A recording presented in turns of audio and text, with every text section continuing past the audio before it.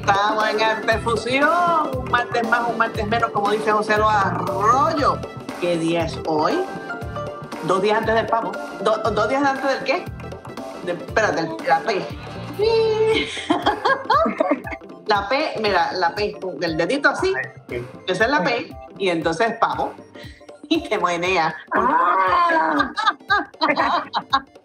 Ah, Así que aquí estamos 22 de noviembre, 6 de la tarde. Ay, mi madre. Ah, y usted, si usted ve que la invitada está que va y viene, va y viene, no se preocupe, es que él tiene una situación con el internet como la hemos tenido todos, así que no se preocupe. Cualquier cosa, pues le decimos, eh, Yadeli, ah, mira, ah, mira, ahí llegó. había ido, había ido. A tener que hacer teatro imagen, Ay, mi madre. por si acaso. Una teatrera de puro corazón y pura cepa. Esa es la que tenemos hoy. ¿Y quién me acompaña? Bueno, por aquí está Javier Ortiz Cortés para servirle a usted y a todo nuestro público que semana tras semana se unen a nosotros a esta conversación tan interesante con actrices, hoy una actriz de, de primera, de, mi- Oh. de mis favoritas. Ay, a mí me parece que en su generación me encanta. Eh, bueno, ya vamos a hablar con ella, pero nos acompaña también el egregio director, dramaturgo, artista ¡Eh, a del renacimiento puertorriqueño. Del renacimiento puertorriqueño. W el que está diciendo, ¡eh, a rayos! Gracias, ya, gracias por este regalo de Navidad adelantado, Javier. De pavo, de pavo. No, pero esto, esto cumplió hasta Pascua. Mira, muchas gracias. Este, saludo a mi gente. José Lo Arroyo por acá, que les saluda como toda la semana. Y también les recuerdo que pueden accesarnos, Dos. accedernos Gracias. a través de nuestras plataformas cibernéticas, siendo artefusión.org, nuestro portal principal en donde puedes siempre encontrar la pestañita de los episodios pasados para que se ponga al día, para que lo vuelva a disfrutar, para que lo vuelva a compartir con toda esa gente, ¿verdad? Que usted cree que le puede interesar. Y también tenemos la pestañita de la encuesta de la semana, que ya mismo Adriana nos va a hablar al respecto, pero ahí es donde usted puede también emitir su voto y de igual manera verificar cuáles fueron las encuestas pasadas y cómo se comportaron los, eh, los, los resultados ¿verdad? de las votaciones.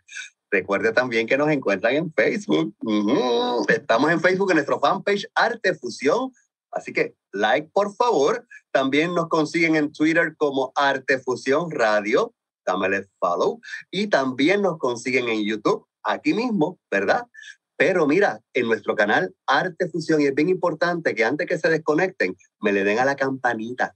¿m? Denle a la campanita ¡tirín! Para que se puedan suscribir al canal y les puedan llegar las notificaciones de las cosas nuevas que seguimos preparando para ustedes siempre en Arte Fusión. Exacto. A mí me- es. Siempre me encanta porque el Twitter es como, ¿cómo es? El Twitter es, porque es el pajarito. El pajarito. el piquito. Me encanta ver a W hacer el Twitter. Pero, precisamente, era José Rodolfo Santiago, míralo ahí, míralo ahí, míralo ahí, nuestro intérprete de lenguaje de señas, que vas a comer mucho pavo. Bueno, eso tengo que te preguntártelo la, la Yo semana creo, que, yo creo que este año mucho pavo no vaya a comer nadie. Madre, sí, pero la semana que viene yo te pregunto. Y Shenan Martínez, mira ahí detrás del bastidor, créalo por fe, él está ahí, él está ahí. Mira, rápidamente vamos a la encuesta. La encuesta de esta semana. Ya, Lilis, te Ajá. toca a ver si tú la pegas. ¿Ok? Ay, Dios mío. Escucha bien, bueno, sabrá Dios, porque, pues, hay, hay, hay gente que las pega. Pero aquí voy. Con la encuesta de esta semana ya no la voy a dejar más porque, pues, vamos, tú sabes, vamos para la próxima. Pero esta semana, ¿en cuál año el símbolo de reciclaje se convierte en código industrial? Hay cuatro años. ¿Ok? Ok. 1997,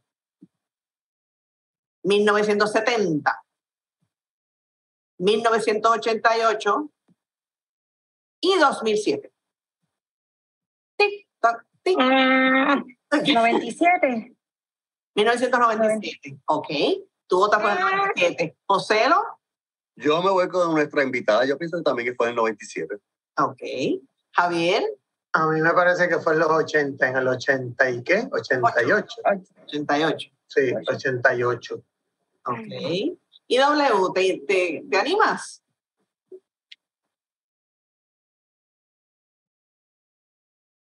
Ok, o Se sea, con Javier en el 97. 88. No, con el 88. Ah, ok, con Javier. Con Javier. Ok, pues mira, están mitad y mitad. pues resulta que es 1988. Y les voy a explicar. En 1997 no pasó nada. ¿Sabes? Que las votaciones fueron un 100% en 1997. ¿En serio? Pues mira, algo, algo pasó en ese 97 que nos, que nos marcó a todos. Pero ese año de reciclaje no pasó nada. Yo creo que yo, qué cosa, pero, pero fue el 88. Déjame explicarle, mira, el 2007, 2007 realmente es un año importante en España, porque ese año se hace una ley para evitar emisiones a la atmósfera. Que eso no tiene que ver, pero tiene que ver, ¿verdad? Con, con la cuestión ambiental.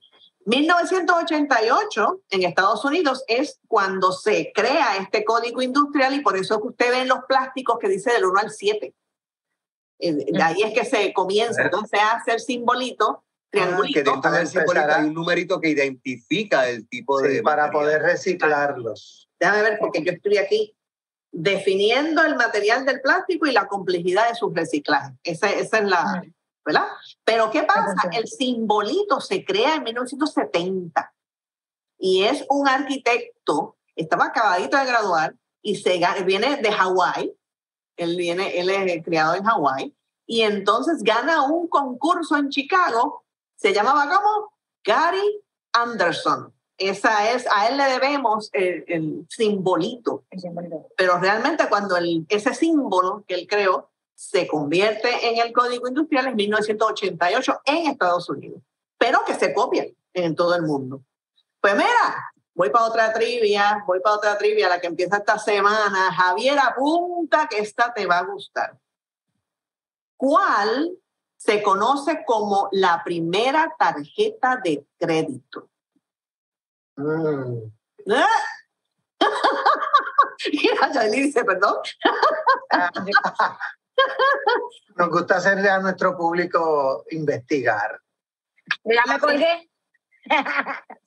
Mira, son cuatro opciones. La primera es la, la que le llama eh, American Express, que es Amex. Amex, con Z. Y con Z, mira, con X. X. La segunda es Diners Club. La tercera es Mastercard. Y la, segun- la, la cuarta, ¿cuál es? La que queda, Visa. Lista. ¿Cuál tú crees, Yadeli? No vamos a contestarla ahora, pero tírala a ver. Bueno, ¿Qué tú crees? no sé. O, o Mastercard o la, la otra, la que Master Club, algo así es que. Diners Diners Club. Club. Din- Diners Club. Estoy entre esas dos. Esa porque no sé cuál es. Pero es que probablemente antes de yo nacer, ¿verdad? Ya estaba. Ay, no sé. Ay, pues esa, me voy por esa. Ok, pues está bien. Pues vaya a artefusión.org y vote. Que conste que esta vez no voté en la del 88. Qué poca vergüenza. Pero, pero te- tenía como una idea, porque en el 89, yo siendo uni- este universitario, hicieron una campaña, empezaron a celebrar el Día del Planeta Tierra, y yo era estudiante orientador, y hicimos una campaña en pro del planeta Tierra y celebramos ese día. Así que ya ese movimiento estaba por ahí estando. Cuajándose. Sí. Muy bien. Pero mira, la que llegó aquí está ahí, mira, debajo de mí, literalmente cuajadita con ese fondo amarillo ahí en la parte de atrás. Es Yadilis Barbosa. Bienvenida a Artefusión. Gracias, gracias. Y Gracias por tenerme aquí. vamos a preguntar lo que, mira, se le pregunta a todo artista que llega aquí. De hecho, a los artistas también se le pregunta, a los no artistas. ¿Cómo llega el arte a Yadilis? O cómo llegas tú al arte, o cómo te decides. ¿Qué, cómo, qué pasó ahí? Cuéntanos. ¿Cuál es tu Pues historia? mira, te voy a contar, les voy a contar una historia, ¿verdad? Esto es, es algo bien personal, ¿verdad? Pero pues yo creo que si a mí me ayudó, le puede ayudar a muchos más, ¿verdad? llega como un medio de sanación a mí. Entonces, este, pues, eh, pues cuando yo tenía cinco años, más o menos, eh, comencé a padecer de lo que era ansiedad infantil y depresión infantil. Entonces, pues mi mamá me llevó a un psicólogo, el psicólogo me le recomendó a ella que me metiera en cosas que, en actividades extracurriculares que pues me envolvieran y que me ayudaran a desapegarme, a desapegarme a ella, porque estaba muy apegada a ella y, me daba miedo, me daba ansiedad a la gente, me daba miedo eh, el poder lidiar con otros eh, niños que no fueran con, con, ella, ¿me entiendes? Si ella no estaba presente o no estaba alrededor. Eh, y pues el psicólogo le dice que como que, que me meta en baile o en estas cosas, entonces empecé en modelaje. Ok. Pero en las clases de modelaje, porque yo era bien picúa cuando chiquita, entonces después de grande que me he puesto media pachosa. chiquita.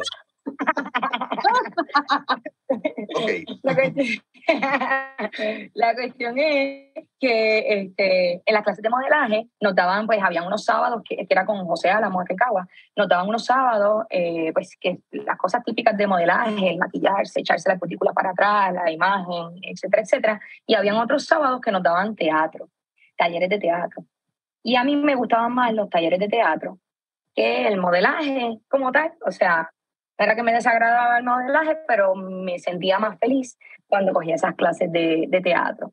Entonces, pues ahí mami empezó a descubrir que, pues, por donde me estaba encaminando era por eso del teatro. Pero ¿qué pasa? Para esos tiempos, estamos hablando principios de los 90 más o menos, no había muchas escuelas de teatro para nenas de mi edad o para niños de mi edad que eran cinco años.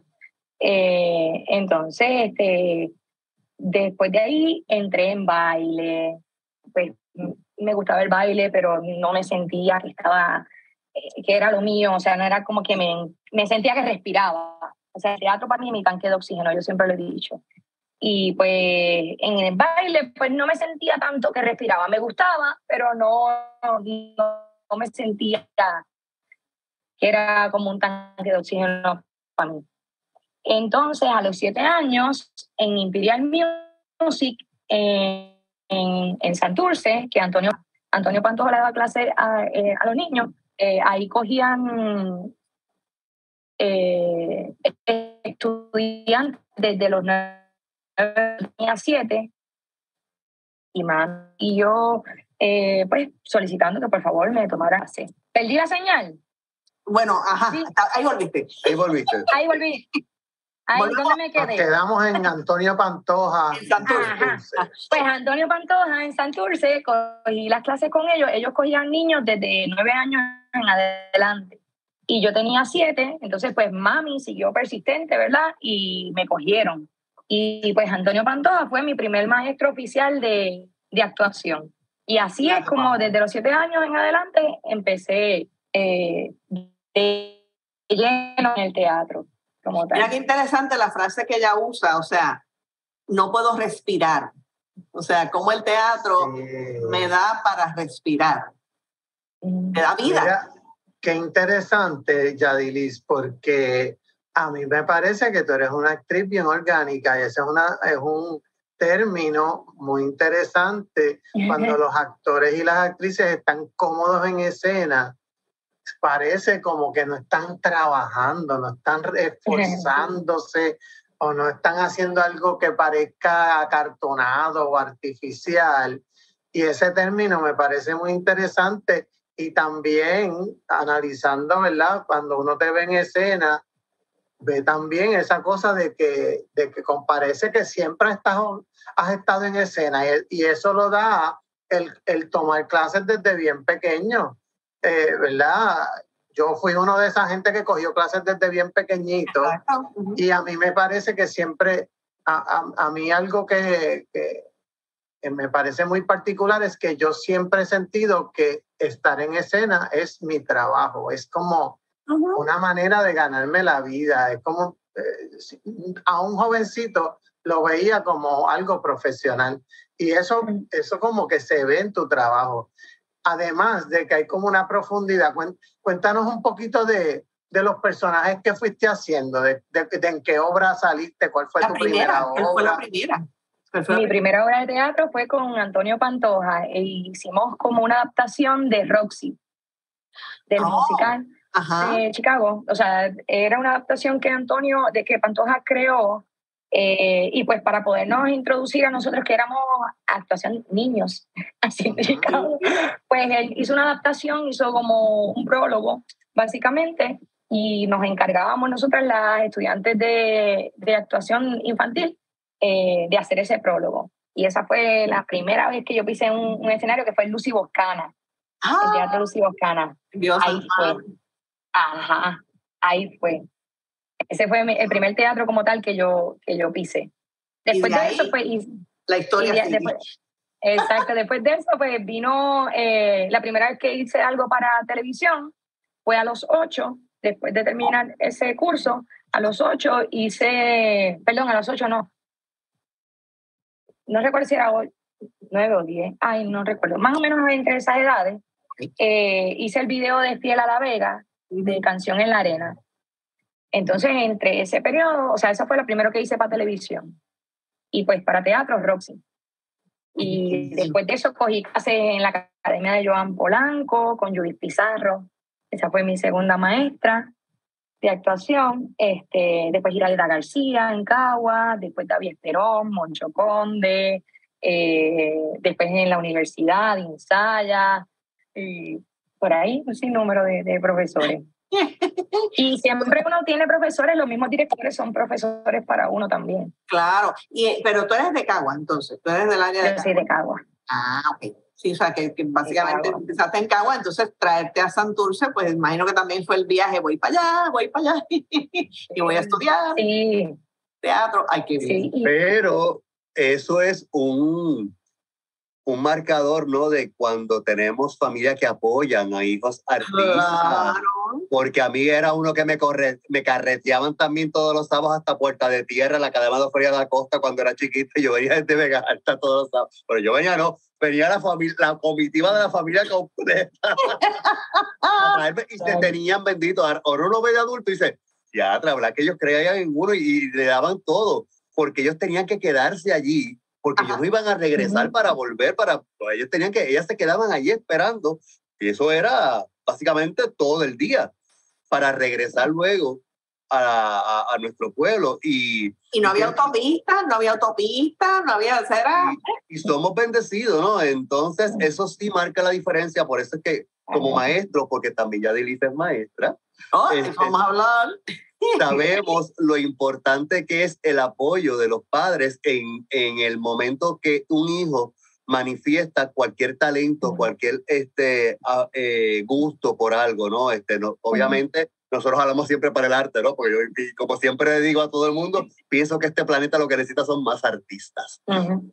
Este, pero, este, sea el talento que sea, sea la, la destreza que usted note que el hijo tenga, apóyelo, apóyelo, porque esa es, está contribuyendo a la realización personal de un individuo en una edad que lo va a necesitar y lo va a agradecer toda la vida. Exacto. Ya, que la gente que nos está, nos está escuchando, ¿verdad? Que son padres o madres, saber que expongan a su hijo o su hija a muchos tipos de Exacto. arte también. Porque, ¿verdad? Yadilin no, no siguió baile, pero al entrar en modelaje pudo este, descubrir la actuación.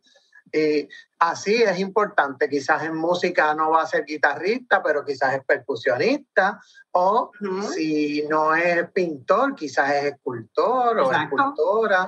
Y o simplemente o exponerse al arte, aunque tú no te dediques a eso, te convierte en mejor artista en la disciplina que tú seas. Y Adriana, que domina también varias facetas del arte, pues sabe, Adriana, Adriana, tú eres músico también, tú eres bailarina, tú eres actriz, aunque digas que no, eres directora, eres dramaturga, y todo eso se nutre unas cosas con las otras, y la perspectiva aumenta del artista mientras más tenga idiomas, ¿no? O, o capacidades para poder este, sacar esas abstracciones de la, de la mente este, y traducirlas en un plano eh, concreto. No, y no tan solo eso, acuérdense que tú- ustedes lo han hablado muchísimo y pues eh, abonando a que Yadelis también es maestra, o sea, cómo tú tienes este grupo donde sabes que quizás uno, dos, tres lleguen al arte, al arte que sea, pero los demás, ¿qué van a hacer?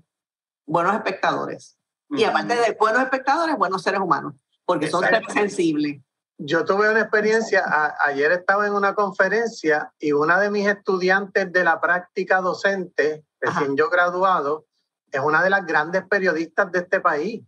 Pues, y la manera en que ella comunicó en, en esa entrevista que le hicieron, se nota que tomó clases de teatro porque su dicción era buena, su seguridad al hablar era buena. Entonces, las herramientas que da el teatro para la vida para un abogado, una abogada, un ingeniero, cualquier profesión que vayan a hablar en público, las herramientas del teatro le van a ayudar. Cuéntanos de tu, de tu área docente, Yadili. Ya, ya ¿Cómo, ¿Y cómo llega? Exacto, ¿cómo, cómo llega? Porque no, no pues, tú eres bien joven, entonces como que fue como que, no, adiós, ella es maestra, adiós, ah, ok, ya, llegó. Pues mira, yo cuando tenía como 16 años más o menos, me solicitaron para ir a sustituir, a dar unas clases uno, eh, de actuación, a sustituir a, otra compañera actriz, a dar clases de actuación en una academia que había. Entonces, pues ahí fue la primera vez básicamente que probé lo que era dar una clase. Y pues después de eso, eh, me contrataron para dar clases en otra academia, más o menos como a los 17, 18 por ahí daba clase, tenía un grupito pequeñito, daba la clase básica. Y cuando entro a la Universidad de Puerto Rico, el recinto de Río Piedra, eh, eh, pues decidí, no entré primero por la Facultad de Educación y después, hablando con Dinsaya, Israel Franco, que es mi hermano, eh, hablando con ellos, me dijeron, pero ¿y por qué entonces no haces un bachillerato en educación si te gusta educar? Y así fue que entonces decidí cambiarme a la facultad, el major en educación y el minor especializado en, drama con especialización en actuación. Eh, y pues en realidad siempre me gustó eso de, de, dar clases, de enseñar, de transmitir lo que a mí me habían enseñado. Pues mi filosofía educativa básicamente es, transmitir el conocimiento. O sea, yo estaba hablando los otros días con José en el ensayo. Eh, mi, filosofía educativa no tiene nada que ver con crear actores, eso es una decisión bien personal. Y eso se lo digo a mis estudiantes siempre. O sea, para mí, mi fin es que ellos respeten lo que a mí me hace respirar, que ellos respeten lo que es mi profesión y la de muchas personas más. Y llevarle un poquito de, de sanación, ya que fue sanación para mí, pues devolverlo para adelante. Que ellos aprendan a canalizar las emociones, aunque ellos a veces no sepan lo que están haciendo, como mismo José lo estábamos hablando anoche mismo en el ensayo, o sea, a veces ellos no se dan cuenta de cómo es, o sea, cuánto, cuánto es el efecto positivo que está teniendo el arte en ellos.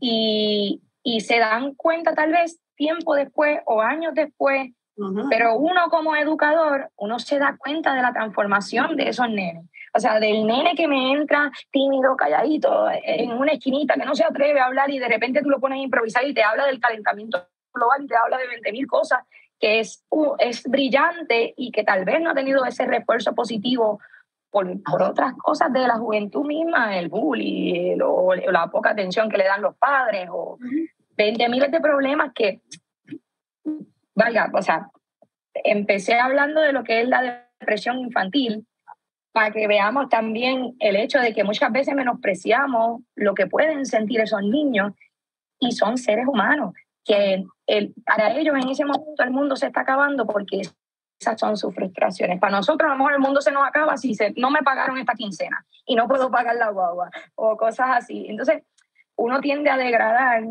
las emociones de los niños, las emociones de los estudiantes, y no, son seres vivos, son seres humanos que sienten y padecen y el mundo se les acaba de acuerdo a la capacidad que ellos tengan para aguantar el dolor o, o, las cosas que les pasan en su Una pregunta, ¿Qué, qué, ¿qué edades tú estás dando ahora? O sea, ahora mismo, este año estoy dando séptimo, octavo, 10, 11 y 12. Este año. Pero he dado clases desde de, de, preescolar. ¿Y cuál, te gusta más? ¿Cuál, ¿Cuál sientes que es más? Todos, ¿sabes? Todos tienen sus pros y sus contras. Okay. Porque pues lo bueno de los grandes es que puedes trabajar temáticas más profundas con ellos. Y, problemáticas sociales más fuertes, que, que puedes trabajar lo que es el teatro foro, que puedes trabajar lo que es el teatro del oprimido con ellos. Lo bueno de los chiquitos es que no le tienen miedo a nada. no se avergüenzan. Te zumban. Y puedes, y puedes, y puedes, exacto, y dejan fluir la creatividad. Los grandes, como tienen tantas inseguridades que le van metiendo en la cabeza y que ellos mismos también las van creando, porque nosotros los seres humanos vamos creando también las mismas inseguridades de acuerdo a las cosas que vemos. este, pero los grandes ya tienen ahí como un poco de nube negra en ese sentido y a veces es más difícil sacarle cosas, eh, actorar el carácter, ajá. So que todos tienen sus pros y sus contras, todos tienen cosas buenas y todos tienen cosas que hay que mejorar. Por no decir cosas malas. Pero... hay cositas que hay que, que, hay que trabajar. Que hay que, trabajar. mira, lo que vamos a hablar después de la pausa es la obra que viene por ahí. Que iba a decir el trabajo, pero no, porque es que nos gusta. Por ahí viene, por ahí viene otra canción de Navidad, porque ya casi estamos, eh, bueno, si ya dentro de dos días el pavo, pues ya mismo es Navidad. pero vamos a una pausilla y regresamos ya mismo Mira, el gato está ahí, mira, está pendiente, está ahí, está esperando, está como que pues hasta, hasta que no hablen de la obra no voy a mirar. Así está.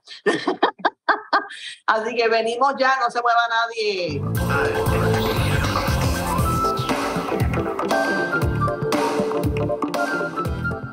Una tienda donde consigas regalos, ropa, accesorios y las mejores telas en Puerto Rico. Hola Zabal, tu almacén de telas cuenta con más de 5 millones de yardas, todas importadas directamente de fábrica. Además, Hola Zabal es tu tienda por departamentos, con un gran inventario en ropa de marcas, accesorios, perfumería, todo lo que necesitas para vestir a tu familia, decorar tu hogar y para esos regalitos especiales. Busca nuestras páginas en Facebook o visítanos en la carretera 174 en Bayamón. Hola Zabal, 740-1414.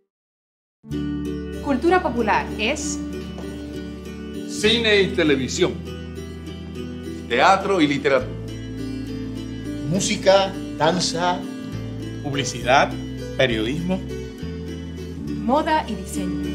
Apoya a la Fundación Nacional para la Cultura Popular para que prevalezca nuestro trabajo. Porque cultura popular somos todos.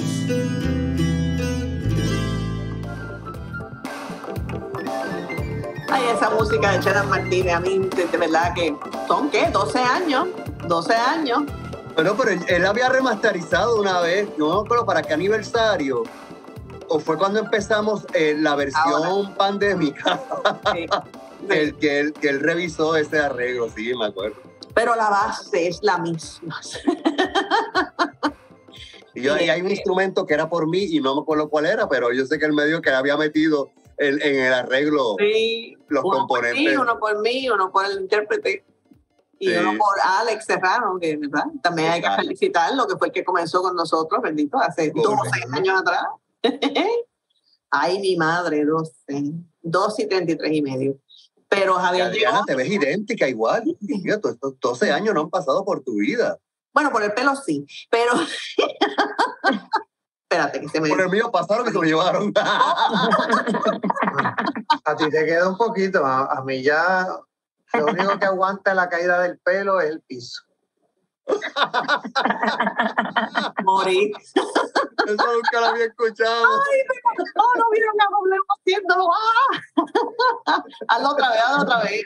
lo único que aguanta el pelo es la lo, lo único que, que, aguanta la caída del pelo es el piso. Ay, qué bueno. Mira, aquí estamos con Yadili Barbosa hoy, 22 de noviembre, dos días antes del pavito, antes del... Este... vamos, vamos a, antes de hablar, ¿verdad? De la, de la pieza que es ahora en diciembre, que ya dentro de menos de un mes, ustedes deben estar como bien nerviositos. eh, Vamos a, vamos a, ¿quieres hacerla tú, Javier? Zumba tú la pregunta. Bueno, eh, siempre nos gusta a los teatreros saber qué obra le impactó de niños, de jóvenes, que dijo, mm, yo quiero estar ahí arriba. Pues a mí, la primera obra que vi en mi vida, la primera obra de teatro que vi, eh, fue la de El Lazarillo de Torme en el Teatro Arcelay en Cagua, que de la escuela nos llevaron a ver la obra de teatro. Entonces el ciego era Chavito Marrero y el Lazarillo era Jorge Armando. ¡Ay, Dios!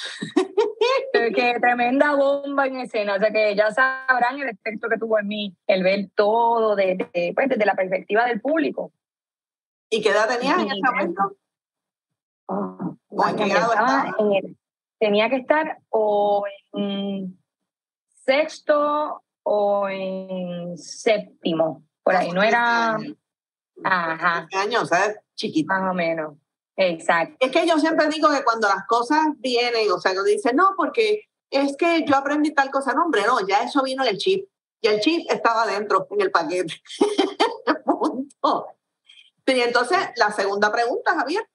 La otra pregunta es de las obras que has hecho últimamente o, o un personaje que siempre recuerdes o que el proceso haya sido interesante o eh, que nos cuente. O difícil.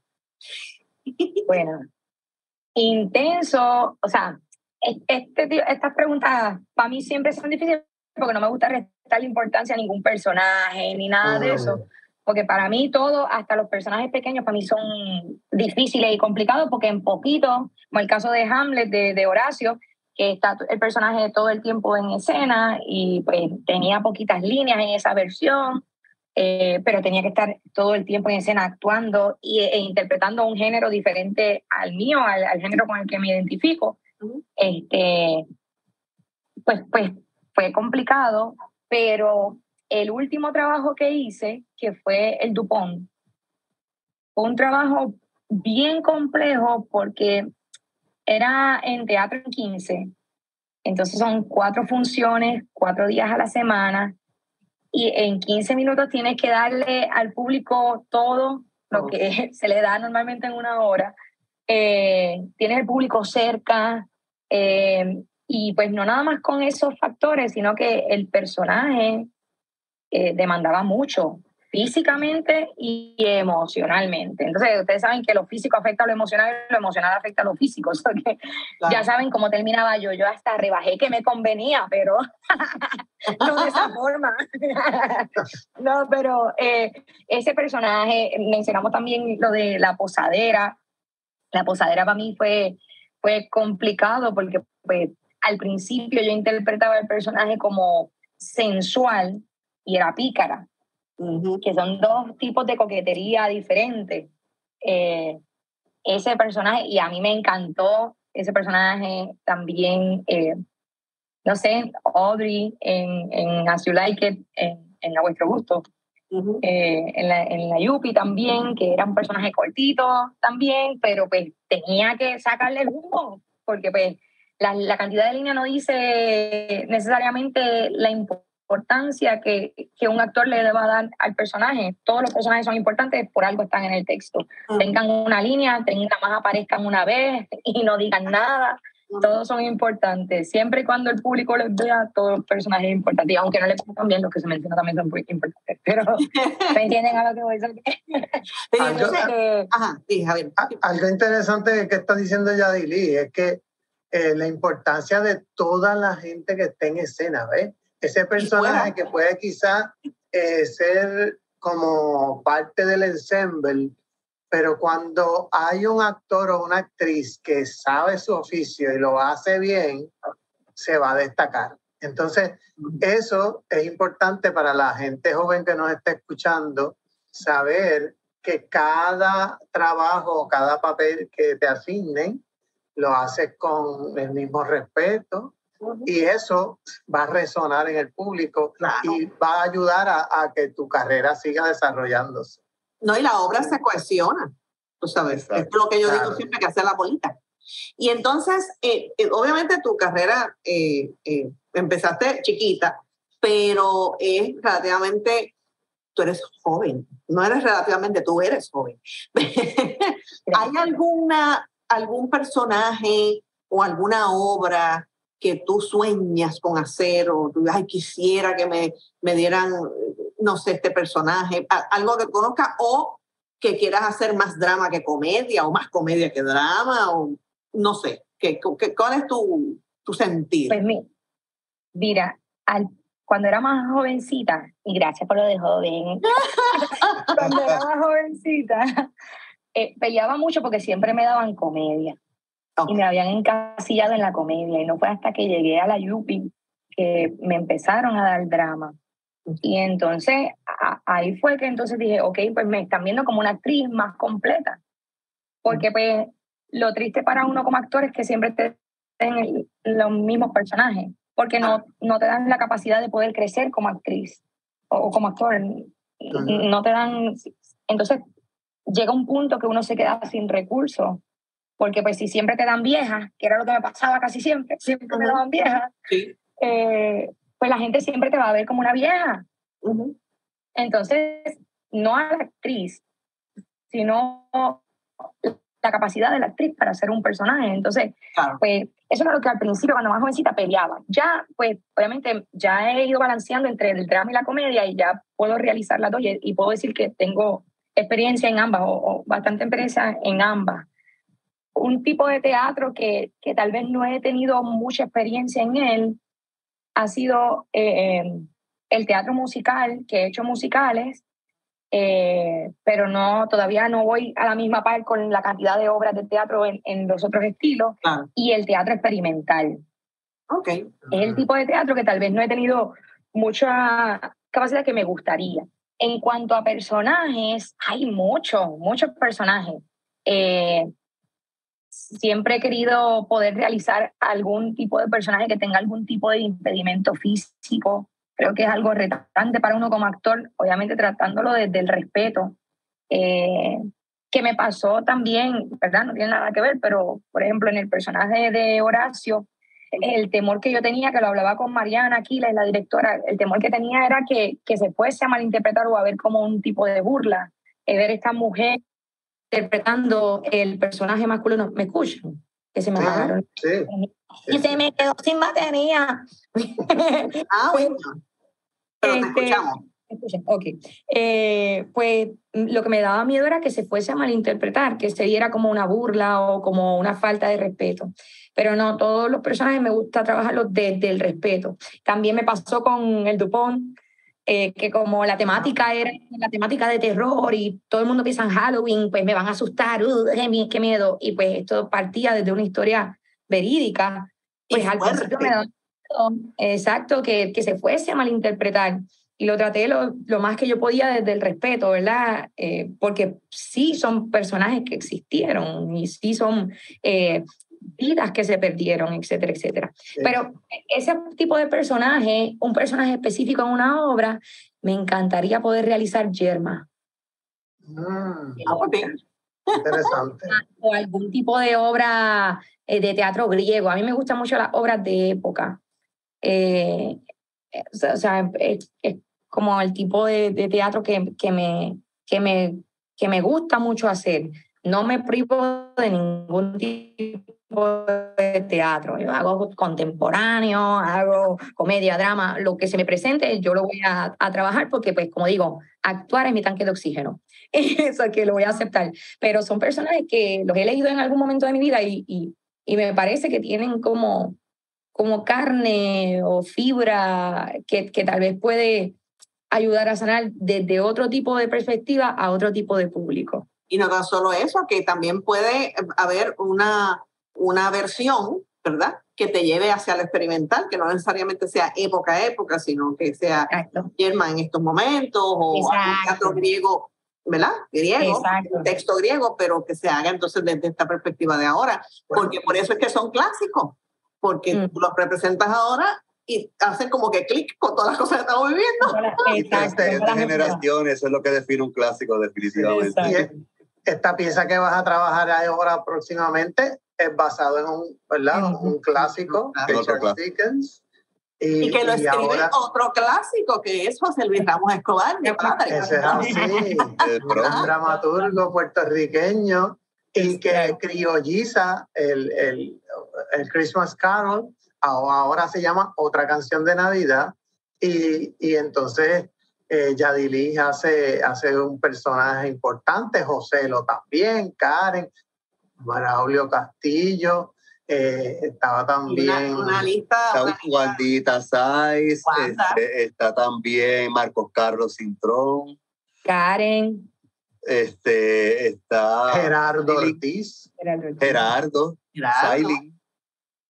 Hay, hay, un elenco bien grande y es un musical, así que, y es algo bien festivo, así que cuéntanos un poquito Mira, fíjate, de ese proyecto. Musical, Como te. Exacto, exacto, sí. Son los deseos, los deseos llegan. Sí, este año, este año tengo que agradecer mucho, ¿verdad? Ten- Tengo que ser bien agradecida. Este año he tenido variedad y, y- y ha sido bonito. Y, y empecé el año con Hamlet, que estaba Geraldo y Marcos Carlos, y termino el año con otra canción de Navidad que está Geraldo, Marcos Carlos, está José, lo- está todo ese elenco de gente linda que quiero mucho y que admiro.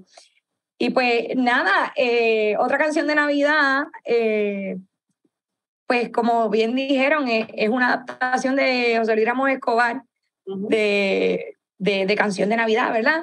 Eh, y pues está bien chévere, estamos pasándola bien allí, estamos en los, ultimando los, ulti- los, los detalles, me trabé la lengua, estamos ultimando los detalles.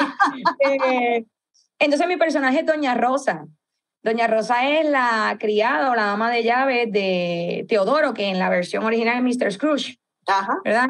Eh, entonces, Doña Rosa es esta señora pícara, eh, que pues ella está muy clara de, de, de lo- las fallas o las faltas que tiene Teodoro, ¿verdad? Pero sin embargo, pues es la empleada de él, tiene que seguir trabajándole, ¿verdad? Hay que comer y hay que llevar comida a la casa.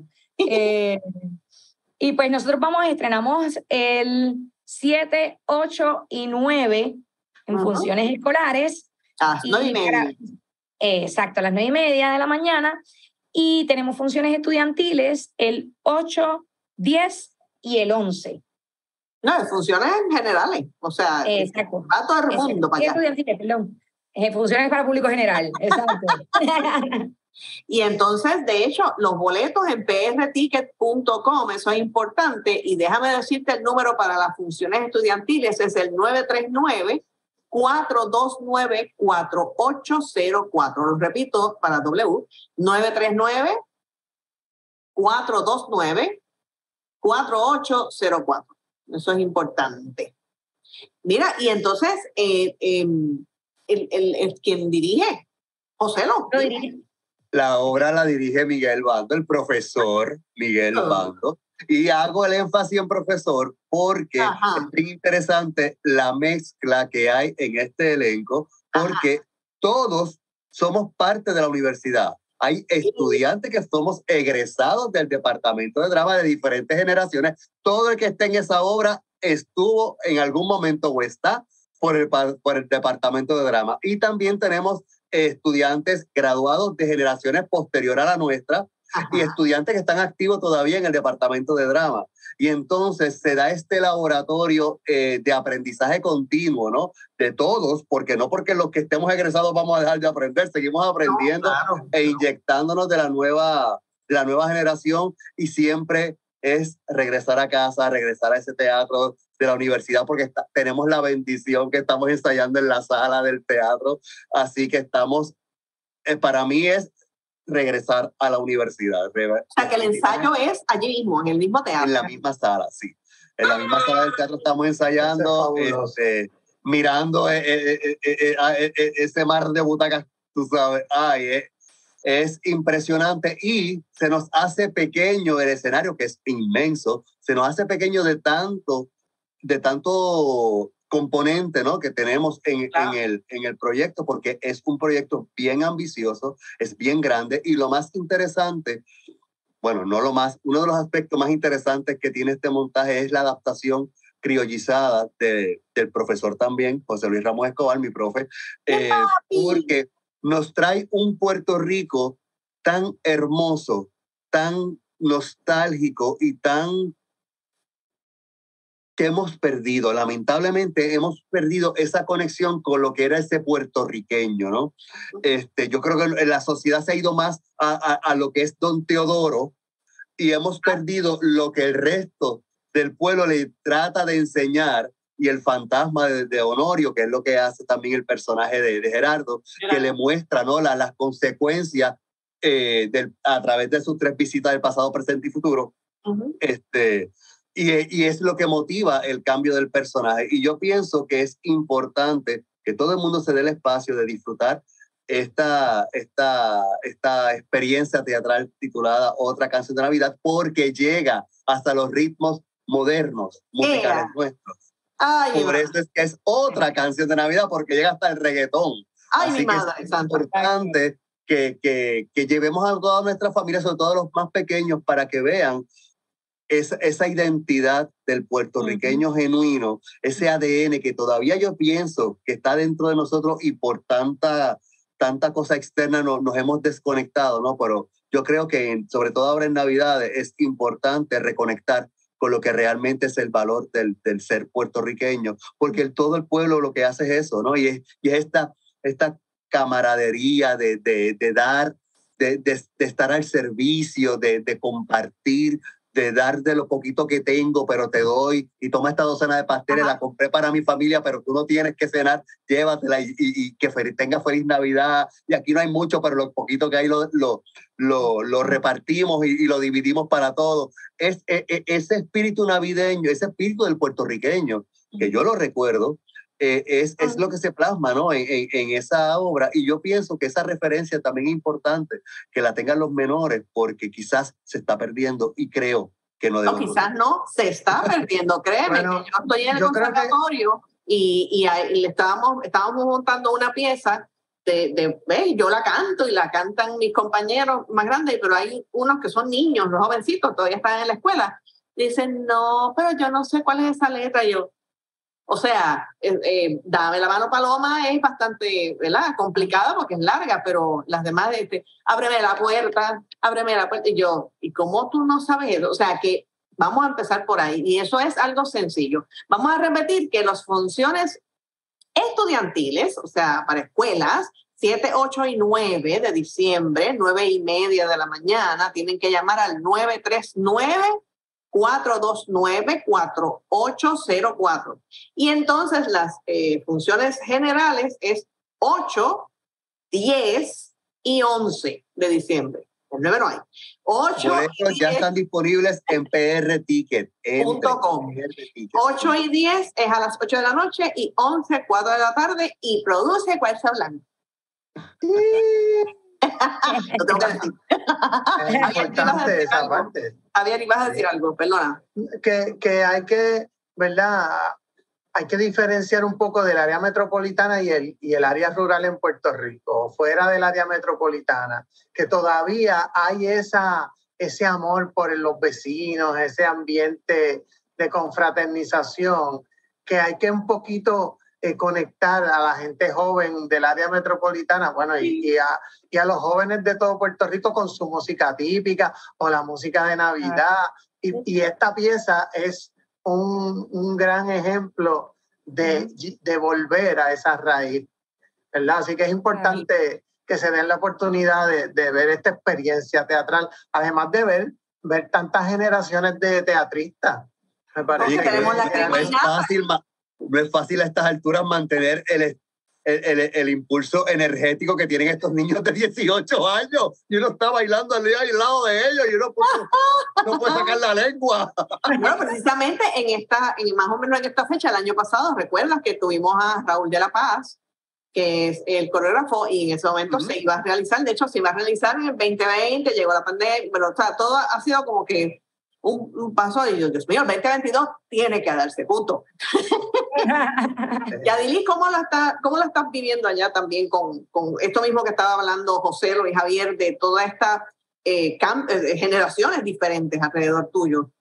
Eh, Pues me pasa lo mismo, José. O sea, el primer día de ensayo, porque pues yo me uní más tarde, ¿verdad?, al elenco. ajá. Pero el primer día de ensayo, o sea, hacía tiempo, una vez tú sales de la Yupi, el ajetreo de la vida y todo eso, te hace bien difícil volver. Y pues yo había ido, pero para, pues, para la despedida de Insaya, era que había pisado la última vez eh, la Yupi, o que uno no va pensando en el teatro, no vas con esa alegría, no vas con ese mindset. Entonces, pues ahora cuando llegué a los ensayos, que iba con esta alegría de voy a hacer una obra en la Yupi, voy a hacer una obra otra vez en el teatro de la Yupi, la, la, la. Cuando entré al espacio fue como un golpe de, de recuerdos, de recuerdos lindos, porque Claro. mi experiencia en, en la Yupi fue maravillosa, o sea, es algo que yo no borraría nunca de mi vida. Eh, y el ver a estos muchachos, a veces yo digo, wow, qué envidia les tengo, cómo quisiera tener esa edad otra vez.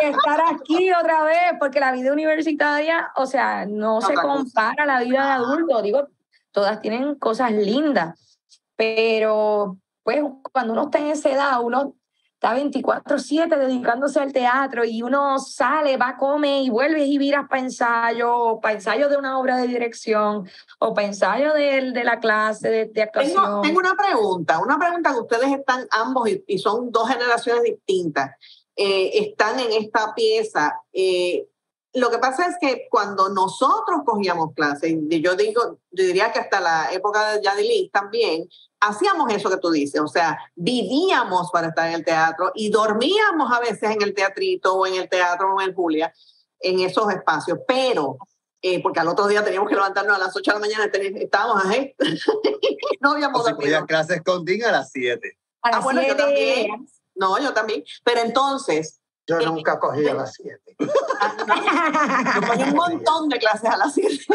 Pero entonces, cuando ustedes regresan ahora, como explica Yadilis y también José, eh, el shock de sí ver, ay, vamos a hacer una obra en el teatro, ay, estos jovencitos que están brincando y saltando, pero la dinámica realmente se mantiene, o sea, se mantiene esta, esta situación de los estudiantes eh, que están todavía eh, con esto vivo, las 24/7, eh, o, o eso ha cambiado?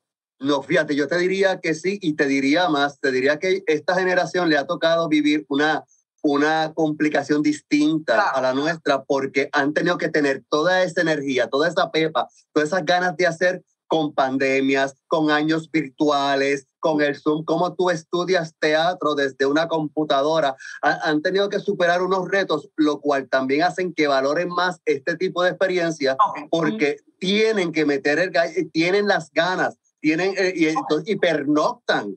Y esos niños en los ensayos son a las 7 de la noche llegan a las 6 de la tarde al teatro a empezar a, a, calentar y a, pues muy bien ensayar los bailes como debe ser, por supuesto, ¿entiendes? Porque se había perdido, se había perdido un poco. No, pero antes no, no, sabría decirte si a raíz de la pandemia se revalorizó sí. ese, ese, ese espíritu. Sí, yo, yo creo que también pues con las cosas que han pasado con la universidad, etcétera, etcétera, sí hay cosas generacionales también, que pues las generaciones son diferentes y esto de los celulares y todo eso va modificando las cosas, porque, por ejemplo, los otros días eh, estaba hablando con un compañero, ¿verdad? Que es profesor también y estaba hablando de que les pelea, y yo con mis estudiantes también peleo, de repente el libreto lo tienen en el celular, no lo tienen impreso. ¿Y estás? No, no, maestra, es que le hacemos las anotaciones aquí, no. no, en el celular no. Entonces, hay cosas que, que sí se han, se han modificado. Hay menos cantidad de estudiantes también, según lo que me han comentado. O sea, yo, pues, en cuanto a atmosféricamente hablando de energía, pude estar en varias generaciones en la universidad y vi como que subía y bajaba. Y sí entiendo lo que, lo que está sucediendo ahora con esto de, de la pandemia y todo eso, modifica, pero sin embargo, este elenco ha sido maravilloso, por lo menos conmigo. O sea, me han hecho ser partícipe del grupo y, a veces digo, ay, Dios mío, yo quiero janguear con ellos, pero obviamente, o sea, uno los ve y uno dice, Dios santo, o sea, eh, así nos veíamos nosotros en, en, en esos momentos.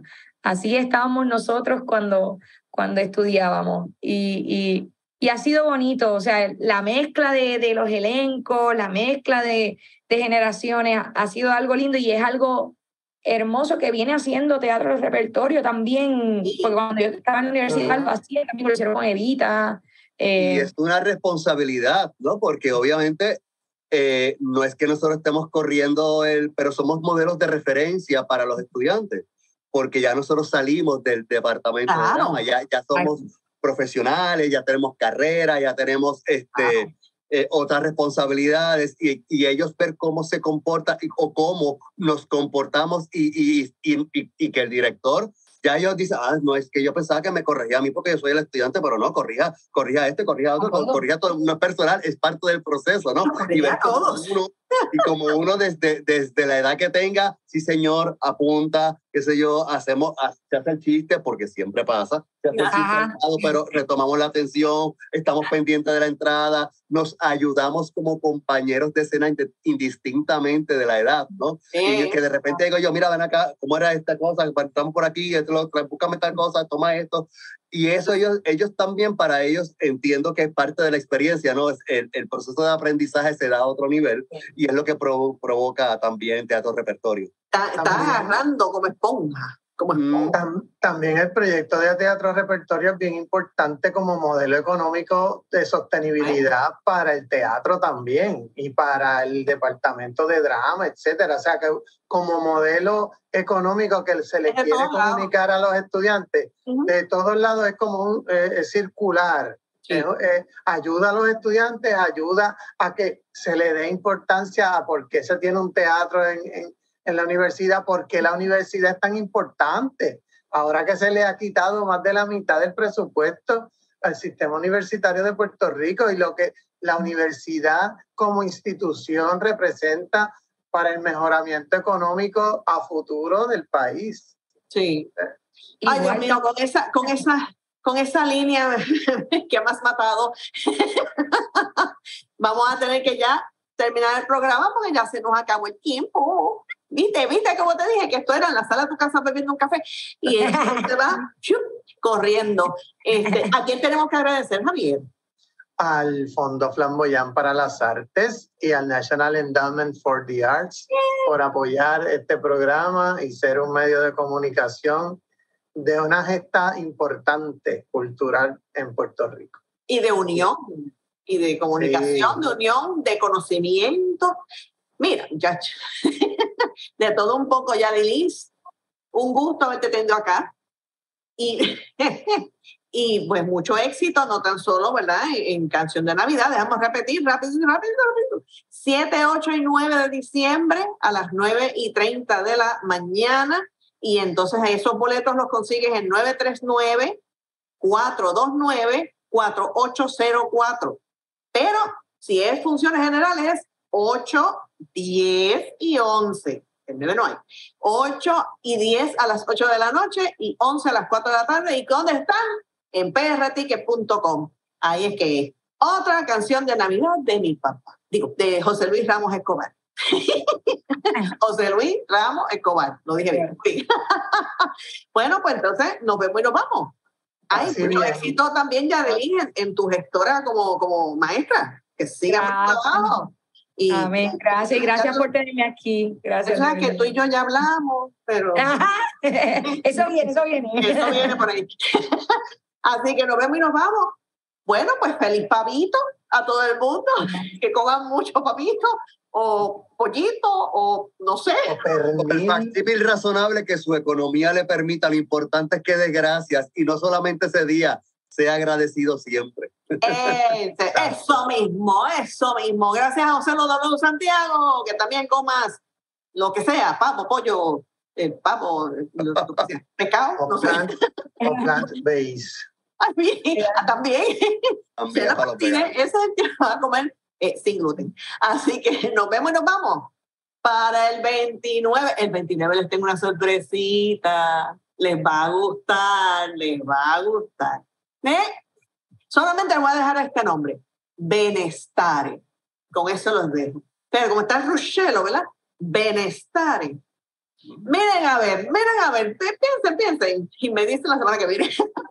Nos vemos entonces, tengan linda semana y llévatelo, chena. Nos fuimos.